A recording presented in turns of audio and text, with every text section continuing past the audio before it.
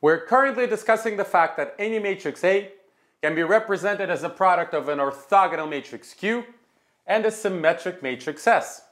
So here is an interesting question. Can A also be represented as a product of the same kinds of matrices, but in the opposite order? A equals SQ, where S is the symmetric matrix, and Q is the orthogonal matrix. And the answer is, well, you can think about it on your own, pause the video and come back when you think you have the answer. But the answer is, of course, yes. And to obtain these matrices S and Q, we have to repeat the same logic that we followed when we were just trying to discover these two matrices, Q and S. These, of course, will most likely be different matrices from these. Except now, what do we have to do in order to take advantage of Q being orthogonal? How can we somehow make the matrix Q transpose end up right next to the matrix Q?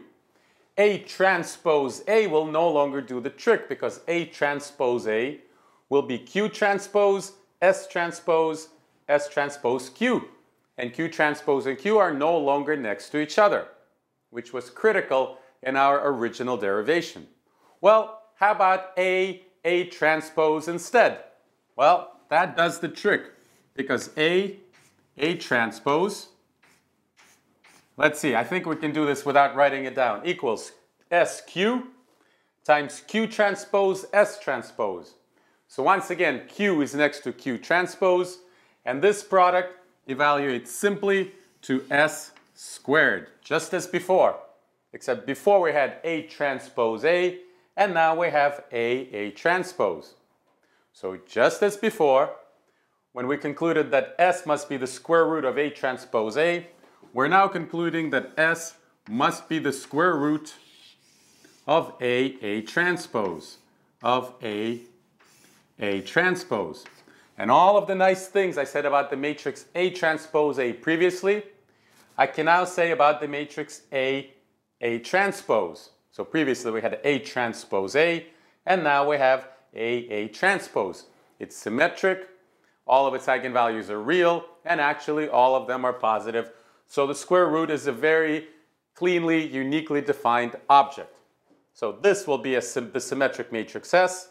And once we have our matrix S, the matrix Q will of course be, just looking here, S inverse A. S inverse A. So everything went perfectly smoothly just as before.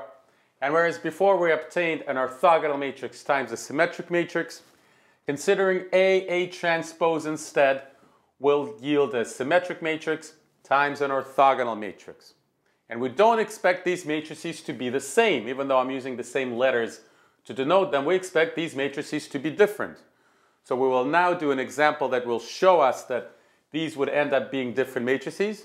And then in the next video, we'll discover the relationship between this pair of matrices and this pair of matrices when we discuss the singular value decomposition. All right, we have previously decomposed this matrix A as the product of this orthogonal matrix Q and this symmetric matrix S. So now we have to go in the opposite order and represent the matrix A as a product of a symmetric matrix times an orthogonal matrix. So as we just discussed, for that we need to consider the product A, A transpose, which equals this matrix, and in order to evaluate the matrix S, we need to take the square root of this matrix, which is done, once again, through the eigenvalue decomposition. And we have to determine the eigenvectors of this matrix. Of course, the eigenvalues are the same, but the eigenvectors are different. So the matrix S will be different from what we saw before. Okay, so here comes the eigenvalue decomposition of this matrix. First, we have the matrix of the eigenvectors.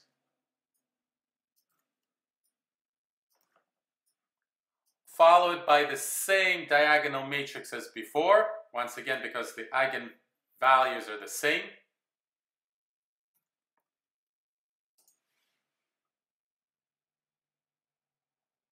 And on the eigen and on and on the diagonal we have 25, 225, and 2025. And finally we have the inverse of the first matrix. So that's the eigenvalue decomposition of S squared.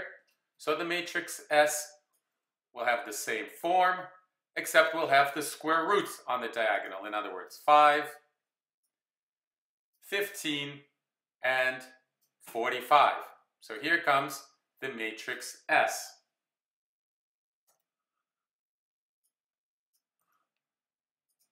Okay, we have our symmetric matrix S. And finally, to determine the matrix Q, which of course equals the product S inverse A. So here we go, Q equals the inverse of the symmetric matrix S times the matrix A itself. And the result is, lo and behold, it's the same matrix Q as before. That's a little bit surprising, but it's not at all a coincidence, as we'll show in one of our subsequent videos. Meanwhile, we have found the decomposition for the matrix A, and it equals the product of this symmetric matrix S and this orthogonal matrix Q. So in conclusion, the orthogonal matrix is the same for both decompositions, while the symmetric matrix is different.